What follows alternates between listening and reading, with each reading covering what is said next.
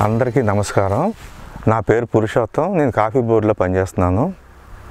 సాధారణంగా రైతు స్థాయిలో రెండు రకాలుగా కాఫీని తయారు చేస్తారు. ఒకటి ఏంటంటే పప్పు కాఫీ దాన్నే పార్చ్మెంట్ అంటారు. రెండవది కాయ కాఫీ దాన్నే చెర్రీ అంటారు. పప్పు కాఫీ తయారు చేయటం వల్ల నాణ్యమైన గింజలను ఉత్పత్తి చేయడమే కాకుండా తద్వారా అధిక ఆదాయాన్ని పొందవచ్చు. కాబట్టి మన రైతులందరూ కూడా పప్పు కాఫీని తయారు చేయడానికి అధిక ప్రాధాన్యత ఇవ్వాలి ఈరోజు వంజర్ గ్రామంలో రైతులకు పప్పు కాఫీ తయారీ దానిలోని మెలకువలను చేసి చూపిస్తాను. అందరికీ నమస్కారం అమ్మా. నమస్కారం సార్.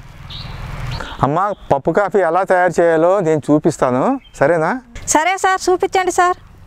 పప్పు కాఫీ తయారు చేయడానికి ఏవేవి కావాలో ముందు మనం తెలుసుకుందాం. సరేనండి. చూడండి అమ్మా పప్పు కాఫీ తయారు చేయడానికి మనకి ముఖ్యంగా కావాల్సింది బేబీ పల్పర్. ఐటీడీ వారు కాఫీ బోర్డు వారు సంయుక్తంగా దీన్ని తక్కువ ధరకి రైతులకి అందిస్తున్నారు. అయితే దీంతో పాటు పల్పింగ్ మిషన్ దగ్గర నీటి సదుపాయం కూడా ఉండాలి. పల్పింగ్ కోసం ఉపయోగించే నీరు శుభ్రంగా ఉండాలి.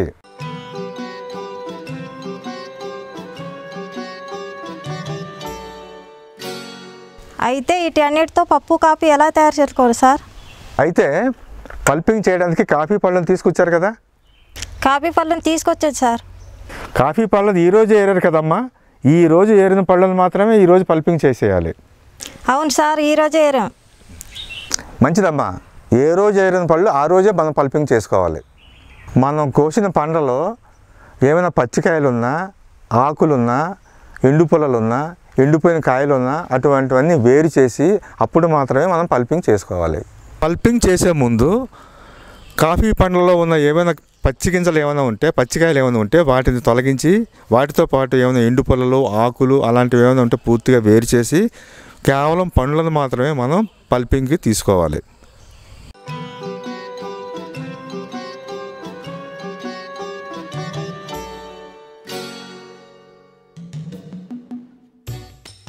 తర్వాత ఆ పండ్లను నీటిలో వేయాలి. నీటిలో పళ్ళు ఎందుకు పోయాలి సార్? పళ్ళను నీళ్ళలో ఎందుకు పోయాలంటే పండ్లను నీళ్ళలో పోయటం వల్ల సరిగ్గా గింజ కట్టనివి ఎండిన కాయలు ఏమైనా ఉంటే అవి పైకి తేలిపోతాయి. వాటిని మనం వేరు చేసి విడిగా ఆరబెట్టుకోవాలి.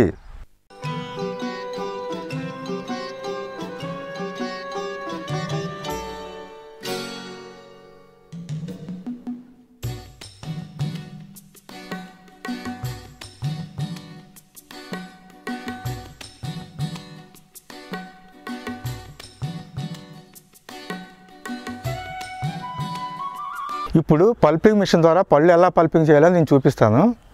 ఈ పీటర్లో రెండు అరలు ఉంటాయి. ఒక అరలో పళ్ళు పోస్తాము. రెండు అరలో నీళ్ళు పోస్తూ పళ్ళను నీటి ద్వారా మిషన్లోకి పంపిస్తాము. ఈ విధంగా పండ్లను పీటర్లో పోసుకోవాలి.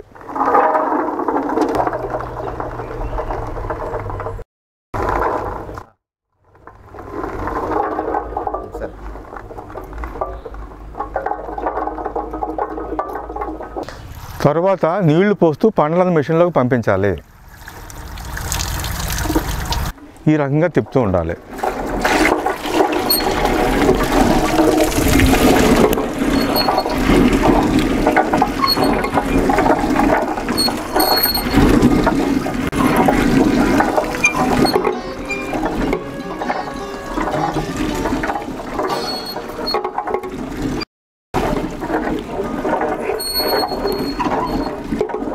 ఈ విధంగా చేయడం వల్ల పండ్లపైన ఉన్న తొక్క ఊడిపోయి పప్పు ఈ విధంగా బయటకు వస్తుంది పండ్ల నుంచి వేరుపడిన తొక్కలు మెషిన్ వెనుక భాగం నుంచి ఈ విధంగా వస్తాయి.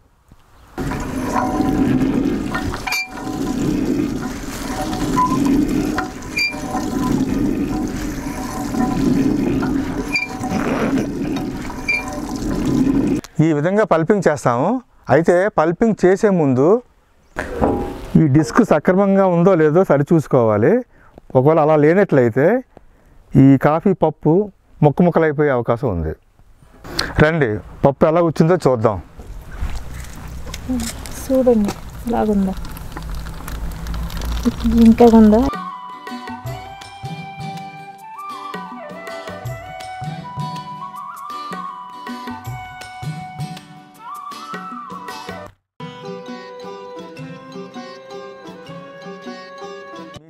పప్పుని పరిశీలనగా చూడండి.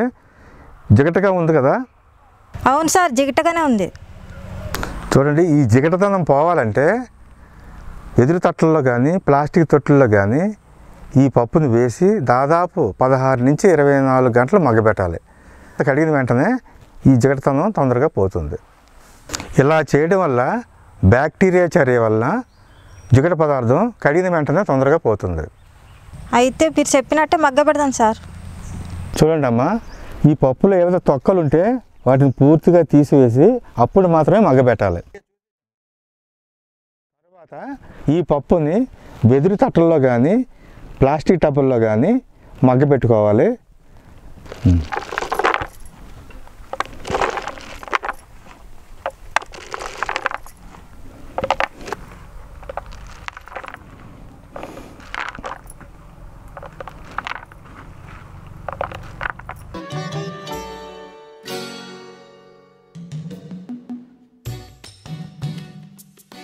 చూడమ్మా ఇది ఇరవై నాలుగు గంటలు మగ్గిన తర్వాత మళ్ళీ మనం కలుద్దాం.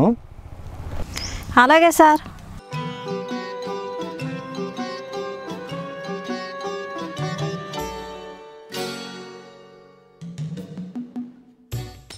ఇరవై నాలుగు గంటలు మగ్గపెట్టావు కదమ్మా? తర్వాత వీటిపైన ఉన్న జిగటతనం పోవడానికి మళ్ళీ మనం శుభ్రంగా నీటితో కడగాలి. అలాగే కడుగుదాం సార్.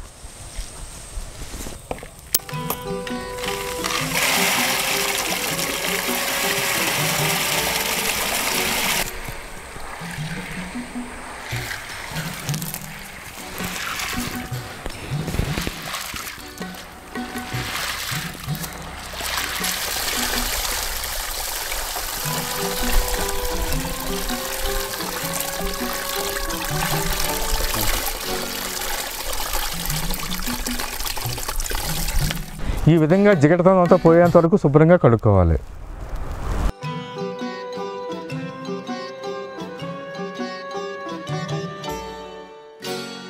తర్వాత ఈ కాఫీ పప్పును తీసుకెళ్ళి ఎండలో ఎండబెట్టుకోవాలి.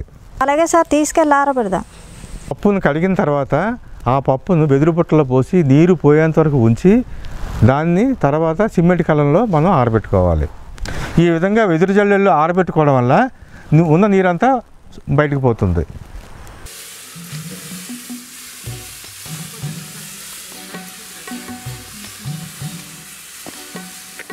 ఈ విధంగా శుభ్రమైన కళ్ళం మీద ఆరబెట్టాలి. అది కూడా మూడు నుంచి నాలుగు అంగుళాలు దళసలు మందంలో మనం ఆరబెట్టాలి.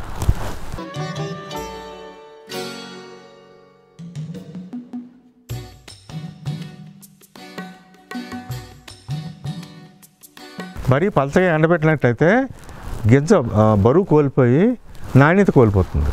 పప్పు ఎండే సమయంలో రోజుకి నాలుగైదు సార్లు కలియబెట్టాలి. ఎందుకంటే ప్రతి పద్ద ఎండాలంటే అలా కలియబెడితేనే అన్ని పద్ధతులు సమానంగా ఎండుతాయి.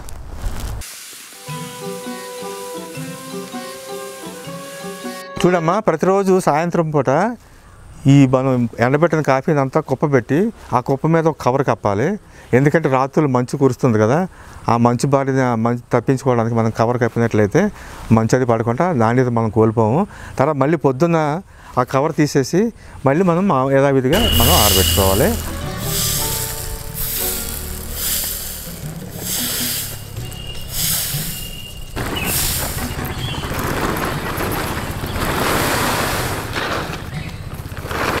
సార్ ఇలాగ ఎన్ని రోజులు ఎండబెట్టాలి?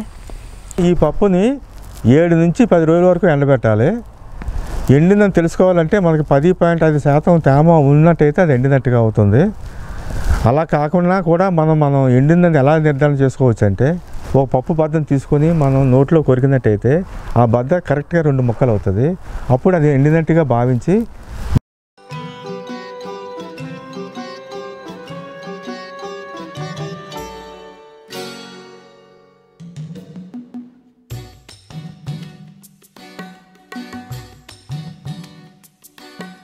చక్కటి శుభ్రమైన బ్యాగుల్లో వేసుకొని వాటిని గాలి వెలుతురు తగిలే గదుల్లో వాటిని మనం పెట్టుకోవాలి. పెట్టుకునే ముందు మనం చక్కగా కింద బలలు అవి వేసి వాటి మీద ఈ సంచులు పేర్చుకున్నట్లయితే వాటి నాణ్యత పోదు. మీరు చెప్పినట్టు పప్పు కాపీ చేసి ఎక్కువ ఆదాయం పొందుతాం. పప్పు కాఫీ చేసినప్పుడు మీకు కొంచెం ఇబ్బంది అనిపించినా కష్టం అనిపించినా కానీ మీరు రెట్టింపు ఆదాయం పొందగలుగుతారు దీనివల్ల. ఇన్ని విషయాలు చెప్పినందుకు మీకు ధన్యవాదాలు. ధన్యవాదాలమ్మా.